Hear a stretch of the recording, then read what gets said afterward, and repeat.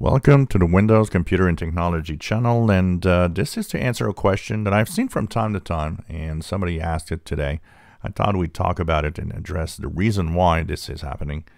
So, of course, when you buy a computer or when you have a computer, you have a certain amount of RAM memory. Uh, standards today, for most part, are around 8 gigabytes, 16 gigabytes. Um, low end machines might have 4, that's really, really the absolute minimum. And of course, some people might have 32 or more. But when it comes down to the task manager, when you right click on the start menu here and go on the task manager, if you look at memory and performance, you will see that even though it gives you the full amount, so this machine has 8 gigabytes, why is it that there's 7.9 written here and 7.9 written here? And that is for 8. If you're 16 gigabytes, you might have something like 15.4 gigabytes available. So you might be wondering, why am I not having full access to the RAM memory?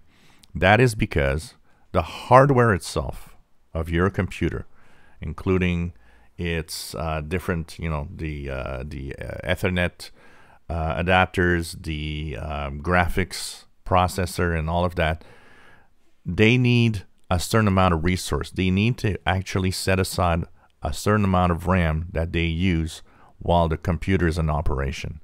So that is what is set aside for hardware purpose. And what's left is what you have available for Windows and for your programs and for what you do on your PC. And the bigger the amount of memory you have, the bigger the chunk is set aside for hardware purposes on the system. So this is all for resource capabilities for the way that the system handles, um, you know, all the different processes that it actually has to encounter. Of course, it needs to use a little bit of RAM to, uh, of course, work.